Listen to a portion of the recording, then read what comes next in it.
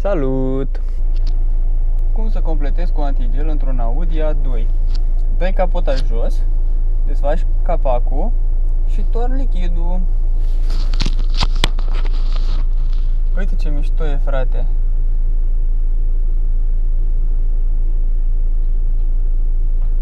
Bă, trebuie să mă uit până să văd dacă chiar așa se face. Mergem așa ușurel, să nu deranjăm lumea bună. Da. Avem grijă să nu facem mult zgomot cu dieselul nostru poluant. Hai, mai du-te încolo.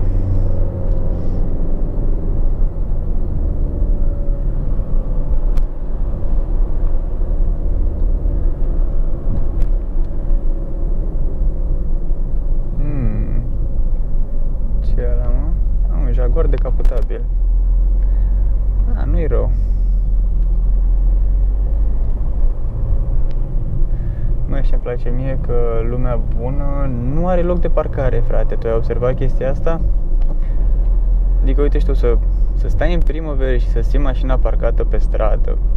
Cât de sărac poți să fii?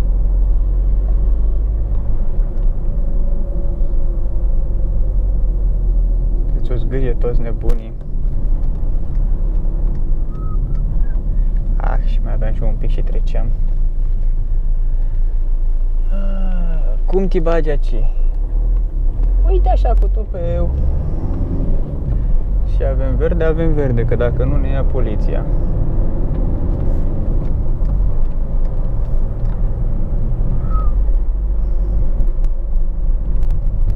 Au, au, au. Dacă tot avusesem un uh, comentariu în care mă întrebase cineva de ce majoritatea șoferilor fac au sau chestii de genul ăsta, scos sunete ciudate atunci când uh, iau o groapă sau o denivelare. Păi cum să nu faci când uh, știi că urmează să te doară portofelul foarte tare atunci când uh, va trebui să mergi cu mașina în service.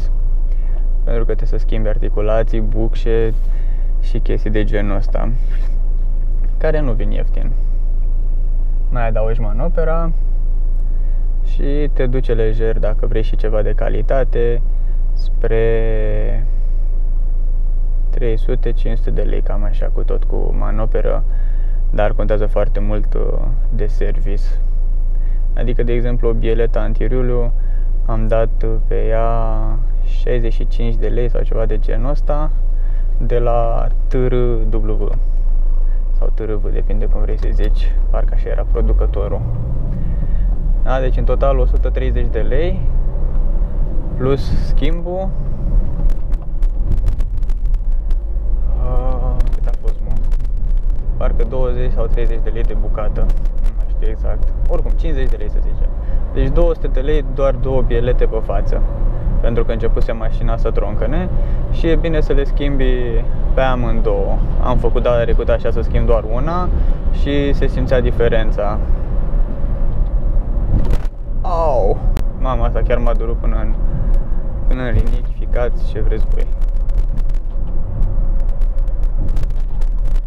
Șeful, ce facem mă cu metalul ăsta de aici de pe pod? Că se strică mereu când trec ăștia cu nebunia lor, cu viteză și cu alea alea. Turnăm niște biton, dă frate niște bitu Că e mai ieftin. Am văzut că mulți dintre voi vă faceți griji de chestia asta cu plecatul de pe loc și faze de genul ăsta. Băgați-vă în trafic, inclusiv cu școala de șoferi și acolo o să exersați de vă vine rău. Că, de exemplu, dacă vii pe Iuliu Maniu, de exemplu, cine e din București și îl iei de la Apaca spre Lujerlui la orele aglomerate o să bagi în uh, treapta întâi și a doua cam de 50 de ori într-o oră, cam așa, că se termină ședința până ajungi la Lujerlui. Acum și de ce au inventat ăștia tablete, telefoane și display-uri mari în uh, mașină. Când stai în trafic să ai la ce să te uiți. Îți pui un film, îți citești o carte, chestii de genul ăsta, știi? Nu stai să te plictisești ca prost în mașină. Așa mă, tu ești de man. Te văd doar am gipan, mă urc pe bordură când vreau eu. Da, băiatule, da, ești cel mai tare. Uite-mă că a acordat măcar prioritate la pietoni. Nu fi așa de rău cu el. Verde! Hai, pisi, hai. Bine că faci stânga din banda de obligatoriu înainte.